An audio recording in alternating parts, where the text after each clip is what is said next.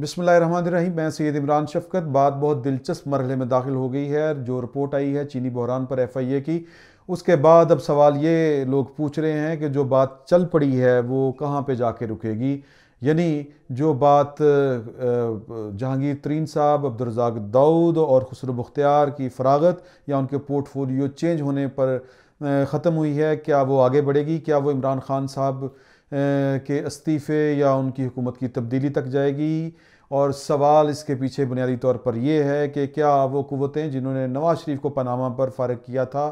کیا وہ عمران خان کو بھی چینی کے اس بحران پر فارغ کریں گے؟ یا یوں کہہ لیں کہ چینی کا بحران عمران خان کے لیے پانامہ سکینڈل ثابت ہوگا، تو ہم اس پر بات کریں گے کہ کیا صورتحال اس قدر خراب ہو سکتی ہے کہ ملک کے منتخب وزیر اعظم کو محض چینی کے اس بحران پر گھر بھیج دیا جائے۔ لوگ یہ کہہ رہے ہیں اور بجا طور پہ کہہ رہے ہیں کہ ماضی میں ہمیشہ منتخب وزیر اعظم کے ساتھ اسی طرح ہوتا آیا ہے۔ نواز شریف صاحب کے خلاف جو پہلا سکینڈل جو ان کو جس کا سامنا کرنا پڑا اور اس سے وہ بچنے کی کوشش میں رہے، وہ ڈان لیکس تھا۔ ڈان لیکس میں بہت سے نام تھے اور دوسرے لفظوں میں براہ راست وزیر اعظم پر یہ الزام تھا، شہباز شریف پر یہ الزام تھا کہ شاید وہ پاکستان کے جو اس قومی سلامتی کے خلاف جا رہے ہیں، تو اس کے خلاف یعنی اس خبر جو ڈان لیک کے نام سے مشہور ہوئی اس کی رپورٹنگ کرنے والوں یعنی کہ ڈان اور سرل میڈا سے لے کے اس جو میٹنگ میں شریک لوگ تھے، ان کے خلاف انکوائری ہوئی۔ اور وزیر اعظم نے اس انکوائری کی بنیاد پر پرویز رشید صاحب کو ان کے عہدے سے ہٹایا۔ اس کے علاوہ جو دھرنا ہوا تھا شعرۂ آفاق دھرنا، کنٹینر والا دھرنا، ڈی چوک پر اس کے پیچھے کی کہانی ایک T V B B C کو غالباً، یا جی ہاں بالکل بی بی سی کو بتائی تھی مشاہد اللہ صاحب نے، جس میں انہوں نے بالفاظ دیگر یہ الزام عائد کیا تھا کہ عمران خان اور طاہر القادری نے وہ دھرنا پاکستان کے جو حساس ادارے ہیں، آئی ایس آئی کے ڈی جی کے کہنے پر رچایا تھا اور ان کا یہ خیال تھا کہ ایک پلان یہ بھی تھا حساس اداروں کا کہ اس دھرنے میں کچھ لاشیں گریں۔ تو جب مشاہد اللہ صاحب نے کا یہ انٹرویو سامنے آیا تو وزیر اعظم جو ہیں، انہوں نے مشاہد اللہ صاحب کو بھی گھر بھیج دیا تھا۔ لیکن اس کے باوجود اس وقت کے وزیر اعظم نواز شریف اپنے قریبی ساتھیوں کی قربانی دینے کے باوجود بچ نہیں پائے تھے، ان قوتوں ان قوتوں سے، جن جو قوتیں ان سے ناراض ہو چکی تھیں۔ اور کچھ لوگوں کا خیال ہے کہ وہ قوتیں جو تھیں، وہ ان کے خلاف پہلے دن سے متحرک تھیں۔ بہرحال جو بھی تھا وہ ماضی کا قصہ ہے، لیکن یہ بات روز روشن کی طرح آیا ہے کہ پھر پناما کا کیس سامنے آیا، سکینڈل سامنے آیا۔ اور جس کمپنی یا جس ادارے نے پناما سکینڈل جو تھا بریک کیا تھا، اس نے نواز شریف صاحب کی بھی تصویر جاری کی تھی۔ لیکن بعد میں اس ادارے نے معذرت کی کہ نواز شریف صاحب کا نام پناما کے اسکینڈل میں شامل نہیں، البتہ ان کے جو قریبی عزیز ہیں انہوں، ان کا نام ضرور ہے اس میں اور وہ انہوں نے ٹیکس بچانے کے لیے آف شورز کمپنی بنائی ہوئی تھیں لیکن ہم نے دیکھا کہ نواز شریف صاحب پناما سکینڈل میں نام نہ ہونے کے باوجود پاکستان کی وزارت عظمہ سے ہاتھ دھو بیٹھے اور وہ پھر گلی گلی یہ ہمیں کہتے اور پائے گئے اور پوچھتے پائے گئے کہ مجھے کیوں نکالا۔ تو اب کہا یہ جا رہا ہے کہ یہی سین جو ہے وہ عمران خان صاحب کے ساتھ ہونے والا ہے اور کہا یہ جا رہا ہے کہ عمران خان صاحب جو ہیں، ان کے اور پاکستان کی سیکیورٹی کے جو ادارے ہیں ان کے درمیان خلیج ایک حائل ہو چکی ہے۔ لیکن سوال یہ پیدا ہوتا ہے کہ اس خلیج جو بیان کی جا رہی ہے، جو کہی جا رہی ہے، وہ خلیج حائل کیوں ہوئی؟ اس کی کوئی ٹھوس اور لاجیکل ریزن جو ہے، وہ ہمیں اگر ہم پوچھنا چاہیں کسی سے، تو بتانے والوں کے پاس اس کی کوئی ٹھوس دلیل نہیں، بس خدشات ہیں۔ عمران خان صاحب کا اگر ہم جائزہ لیں تو انہوں نے اپنی وزارت عظمہ کے دوران اس طرح کا کوئی اقدام نہیں لیا یا کوئی اس طرح کا سٹیپ نہیں لیا یا وہ کسی ایسی سرگرمی میں ملوث نہیں رہے جی، جس سے پاکستان کے جو سیکیورٹی پر معمور ادارے ہیں ان کو کوئی تحفظات ہوں۔ جس طرح نواز شریف صاحب جو تھے، ان پر ان کو شدید تحفظات تھے کہ وہ نہ صرف پاکستان کے داخلی معاملات سیکیورٹی سے متعلق معاملات پر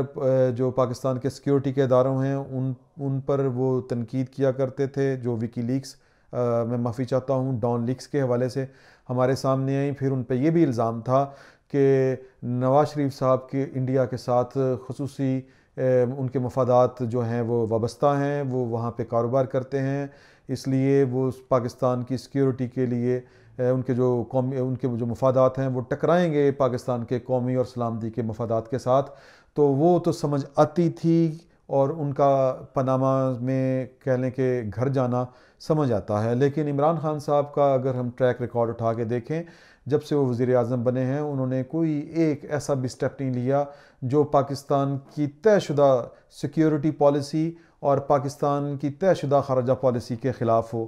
ہاں البتہ ایک پندرہ جنوری کا صرف ایک کالم جو پاکستان کے معروف صحافی جناب سلیم صحافی صاحب نے پندرہ جنوری کو ان کا جو کالم شائع ہوا تھا روزنامہ جنگ میں، کہ اگر جج بھی ایسا کرے کہ عنوان سے اس میں انہوں نے لکھا ہے کہ عمران خان صاحب بنیادی طور پہ جنرل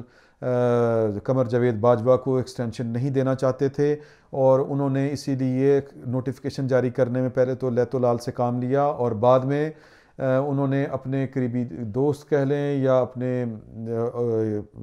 خاص تعلق دار سابق چیف جسٹس پاکستان جو اس وقت چیف جسٹس پاکستان تھے جناب آصف سعید کھوسا کی مدد حاصل کی اور آصف سعید کھوسا صاحب نے بقول سلیم صافی کے پاکستان کے چیف آرمی سٹاف کے جو کا آفس ہے، اس کو متنازع بنا دیا تھا پاکستان کی عدالت کے اندر۔ تو، اور ان کا یہ خیال ہے، یا پھر اس کے بعد کی جو صورتحال ہے کہ پھر ایسی صورتحال سے نواز شریف صاحب نے بھی فائدہ اٹھایا جو آرمی ایکٹ میں ترمیم کرنے کا معاملہ تھا اپنے اصولی موقف سے یو ٹرن لے کے، جس پہ نواز شریف صاحب کو بڑی تنقید کا بھی سامنا کرنا پڑا۔ تو یہ محض صرف ایک خیال ہے کہ شاید جو عمران خان صاحب کے خلاف اگر یہ کسی حقیقت کے خانے میں یہ واقعہ واقعی کہیں رونما ہوا ہے، تو پھر یہ ایک بات ہے۔ اس پہ ہم کہہ سکتے ہیں، لیکن یہ صرف محض اور محض ایک سپیکولیٹو آئٹم ہے، یوں کہہ لیں۔ یہ بات ابھی تک کسی ٹھوس صورت میں ہمارے سامنے نہیں آئی۔ یہ کسی شخص کے تخیل کی پرواز ضرور ہو سکتی ہے یا یہ کسی شخص کا تجزیہ ضرور ہو سکتا ہے، لیکن ابھی تک اس کو کسی نے بطور خبر نہ کلیم کیا ہے اور نہ اس کے سلسلے میں وہ کوئی ٹھوس شہادت پیش کی ہے۔ تو لہٰذا یہ کہنا کہ پاکستان کی جو اسٹیبلشمنٹ ہے یا یہ جو ساری کاروائی اس وقت جو وقوع پذیر ہو رہی ہے جس سے لگ یہ رہا ہے کہ پاکستان کی جو آپ کہہ لیں کہ سیکیورٹی اسٹیبلشمنٹ ہے، وہ اور عمران خان صاحب کے درمیان ایک خلیج حائل ہو چکی ہے، وہ درست معلوم نہیں ہوتی۔ یہ ہو سکتا ہے کہ واقعی جو پاکستان کی اسٹیبلشمنٹ ہے، وہ کچھ لوگوں کے متعلق یہ سمجھ رہی ہو جو حکومت میں شامل ہیں کہ انہوں نے واقعی اپنی حیثیت کا اور اپنے اختیار کا ناجائز فائدہ اٹھایا ہے اور ان کو نہیں اٹھانا چاہیے تھا۔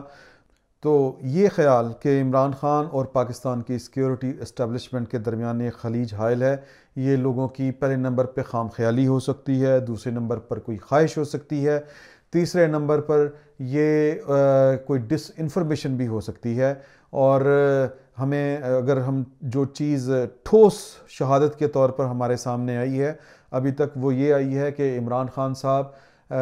کے اسٹیبلشمنٹ سے بظاہر کوئی تعلقات خراب نہیں ہیں کیونکہ ابھی تک انہوں نے پاکستان کی اسٹیبلشمنٹ جو اگر ہم ماضی میں جائزہ لیں، جن چیزوں اور جن اقدامات کی وجہ سے وہ منتخب وزیر اعظم کو پاکستان کے لیے نامناسب شخصیت سمجھتی ہے یا ان کا وزارت عظمہ میں ہونا پاکستان کے لیے درست نہیں سمجھتی، اپنی دانش میں۔ ابھی تک عمران خان صاحب نے اس طرح کا کوئی کام نہیں کیا۔